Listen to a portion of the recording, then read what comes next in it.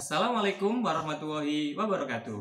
Perkenalkan, nama saya Ahmad Hambali, guru di SMP Negeri Pumi, Kabupaten Alor, Nusa Tenggara Timur.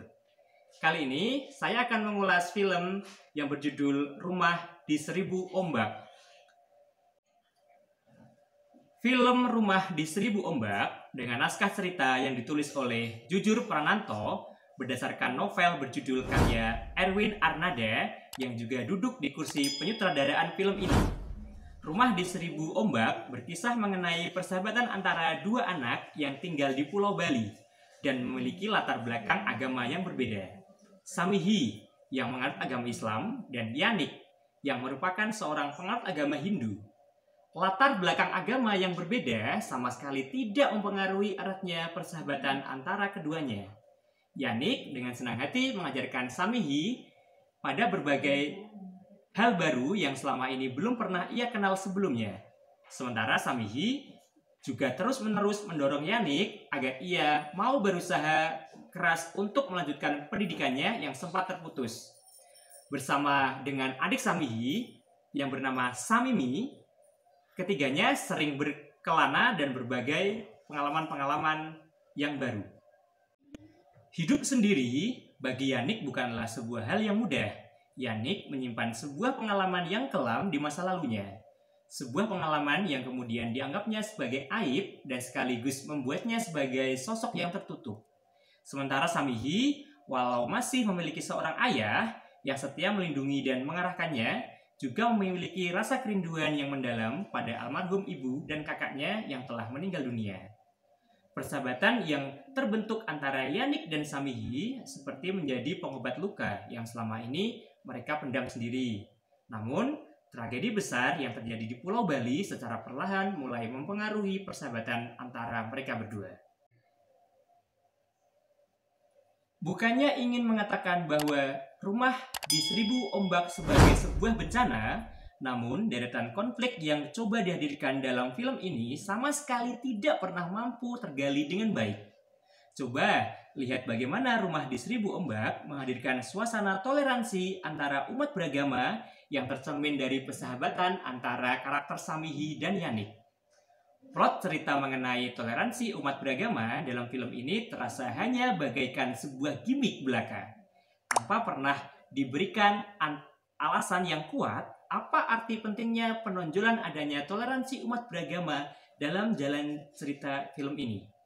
Toh masyarakat di sekeliling karakter Samihi dan Yanik juga tidak mengalami konflik agama dan ketika sekelumit kisah mengenai tragedi pemboman atas Pulau Bali yang dapat dijadikan sebagai pemicu konflik antara umat beragama, dalam jalan cerita dihadirkan karakter-karakter yang berada di dalam jalan cerita juga menyambutnya dengan biasa saja. Erwin Ananda hanya sedang memberi pendidikan sosial. Mungkinkah begitu demikian? Erwin juga mengalami kesulitan yang sangat luar biasa dalam mengisahkan plot masa lalu karakter Yanik yang berhubungan dengan kisah pedofilia yang dialaminya di masa lalu. Adalah dimengerti kenapa Erwin tidak pernah mengeksplorasi plot cerita tersebut secara frontal mengingat rumah di seribu ombak juga ditujukan bagi para penonton muda. Namun, dengan jalannya yang disajikan Erwin dalam film ini yang berputar-putar dengan penyajian adegan kucing-kucingan antara karakter Yanik dengan karakter pelaku pedofilia tersebut juga jelas membuat plot cerita ini menjadi terkesan tanpa ujung atau pointless untuk apa menghadirkan jalan cerita tersebut kalau Erwin tidak pernah benar-benar mampu untuk menggambarkan secara gamblang? Tidak berhenti hanya di situ. Beberapa konflik lainnya juga dihadirkan dalam kisah lanjutan di Rumah Seribu Ombak. Seperti konflik pribadi yang dialami oleh karakter Yanik yang kemudian pergi menghilang tanpa kejelasan. Lalu kemudian hadir lagi juga tanpa kejelasan serta sekelumit-sekelumit kisah romansa yang dialami karakter Yanik dengan karakter Samimi ketika mereka mengajak sorry ketika mereka menginjak remaja. Penonton mungkin akan menebak bahwa akan ada konflik agama dalam hubungan percintaan mereka. Salah tidak ada konflik. Yang ada hanyalah karakter Yanik yang digambarkan begitu menyedihkan dan kemudian diceritakan dalam usaha untuk menghasilkan simpati penonton. Namun sayangnya gagal. Yang, menyel yang menyelesaikan berbagai konflik yang semenjak awal terlihat membingungkan mengambil sebuah jalan pintas yang benar-benar menurut saya klise. Dan ya selain dari tampilan visual yang dihadirkan cukup membuai, rumah di seribu ombak sama sekali tidak terasa istimewa. Dari jajaran pengisi departemen acting, Rumah di Seribu Ombak tampil cukup memuaskan. Ketiga pemeran anak-anak di film ini mampu membawakan karakter-karakter mereka dengan baik. Sayang, justru ketika karakter mereka digambarkan tampil dewasa, kualitas penampilan acting film ini menurun. Ini terjadi khususnya pada karakter Yanik yang ketika dewasa diperankan oleh Risman Jayadi. Risman tampil begitu datar dan tanpa emosi dalam seluruh penampilannya. Jelas sangat kontradiktif dengan karakter Yanik yang ia perankan dan menyimpan begitu banyak permasalahan hidup. Sementara itu, Lukman Sardi tampil seperti biasa, mampu begitu mengikat.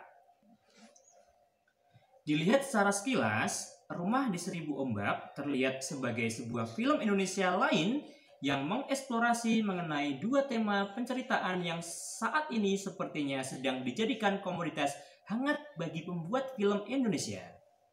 Semangat nasionalisme serta kisah hidup anak-anak yang tinggal di daerah pinggiran Indonesia. Rumah di Seribu Ombak memang menyentuh masalah tersebut.